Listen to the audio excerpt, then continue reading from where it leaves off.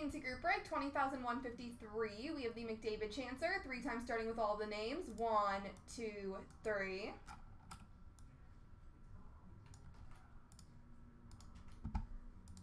One, two, three.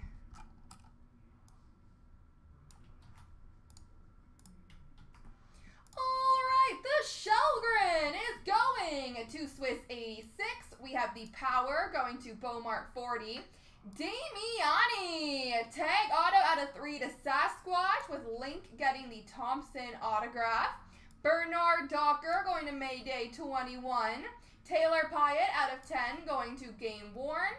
The Connor McDavid out of 97 is going to Jeff Cullen. Congratulations to you, sir. The Swayman out of 799 is going to C Webb. The Caufield to Mayday 21 and the Kuemper to P123. Congrats to all of our winners.